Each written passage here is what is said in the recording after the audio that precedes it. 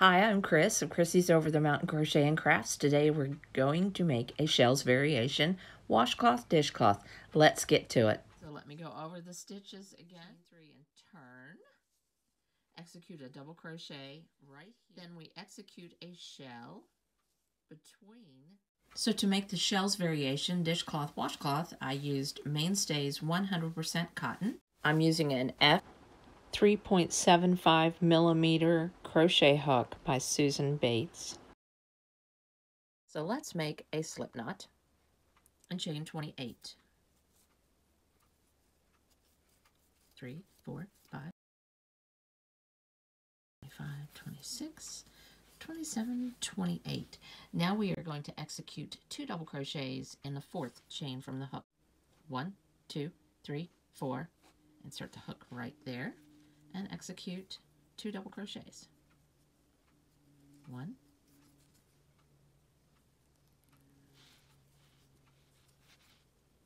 two. Now we're going to skip two chains and shell in the next chain. A shell is five double crochets. One, two, and five double crochets in this third chain. We skipped two, and it's five double crochets in this third chain.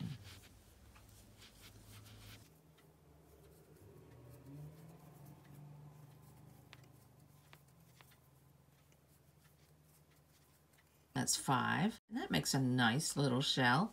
Now the next sequence is one double crochet in the next chain two times. So one double crochet in the next chain and do that twice, but we skip two chains first. All right, so we're skipping this chain, this chain, and executing a double crochet right here, and then a double crochet right beside this other double crochet. Now we skip two chains, one, two, and execute a shell.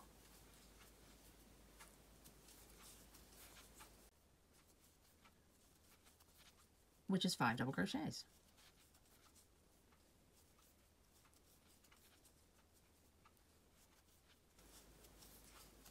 Now skip two, one, two, yarn over and execute a double crochet and another double crochet.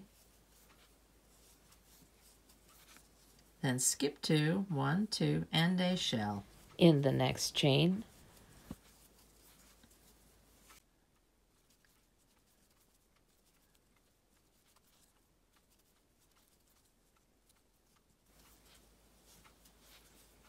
That's five. Now skip two, one, two, and execute a double crochet and a double crochet in the next chain. So we'll skip two and execute three double crochets in this last chain. Sometimes this last chain can be a little fiddly but he's cooperating with me today.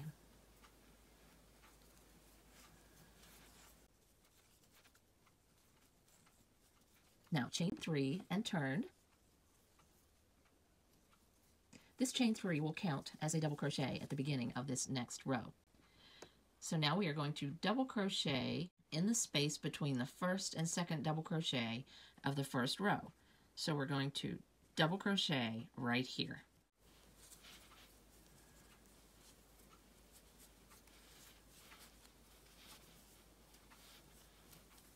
Now we are going to execute a shell in between these two double crochets.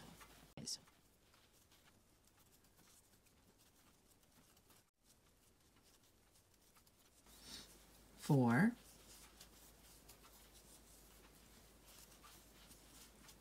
and five. All right. Now how does that look? That looks nice, I think. So we have our two double crochets that mimic this two double crochet segment and then we have our shell. Now next is easy.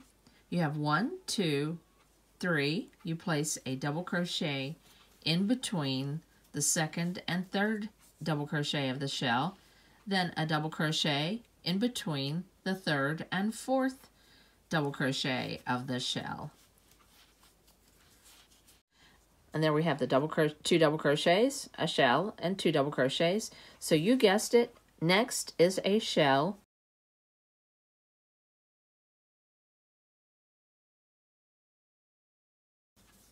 All right, we've made that shell. Now you know what is next. In between these two double crochets will be a double crochet. In between these two double crochets will be a double crochet. This peak stitch, or the third stitch, will have a double crochet on either side of it. Then, of course, the next segment will be a shell right here in between these two double crochets. Then a double crochet on either side of the peak stitch. Let me get to this part. I'll go off camera and finish up this part, and then I'll show you how to end out the row. I'm at the end of the row. Now I need to execute three double crochets right here between the double crochet and the turning chain. Let's get that done.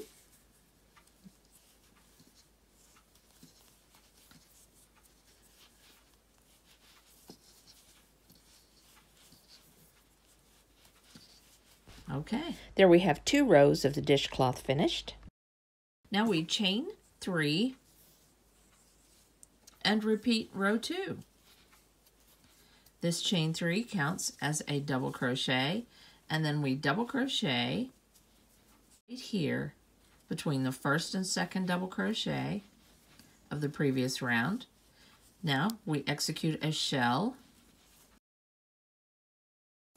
Now a double crochet on either side of the peak stitch of the shell this peak stitch has a double crochet on either side of it.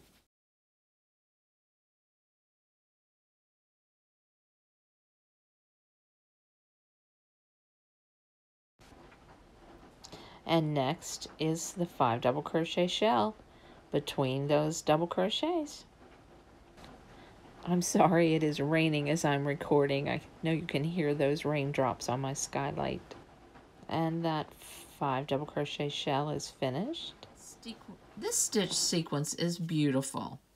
It makes a beautiful blanket. I've made a cotton baby blanket out of that. You will find the crochet pattern on my website.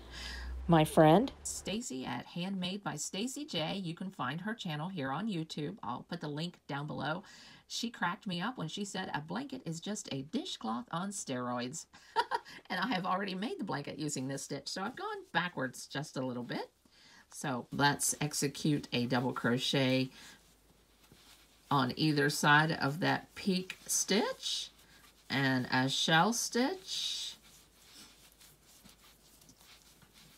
And you just keep repeating this sequence until you get the height that you want on this dishcloth. I recommend that you have 14 rows to make a nice dishcloth. And here we're at the end, and it's three double crochets. So let me go over the stitches again. It's very easy. It's a one row repeat. So we chain three and turn. Execute a double crochet between those double crochets. Then we execute a shell between these two double crochets. Then a double crochet on either side of the peak stitch and a shell and a double crochet on either side of the peak stitch. This pattern needs a multiple of seven chains. So if you decide to make a blanket on steroids using a different type of yarn, that is the stitch, stitch sequence you need. Or if you would like to make this into a towel, so if you make a multiple of seven chains to the width that you would like for a towel, then make the towel the length that you would like. I think this would be a beautiful towel in the kitchen or in the bath. This Heirloom Shells baby blanket has this exact same shell variation along with a few others. The baby blue blanket is all about this shell stitch variation with a really wide shell border. You can see that stitch up in the upper part of that photo. And then that wide shell border, just beautiful. And this dishcloth, so easy and quick to make. I'm so glad you came to visit me on my side of the mountain. I hope you'll come again soon. Bye.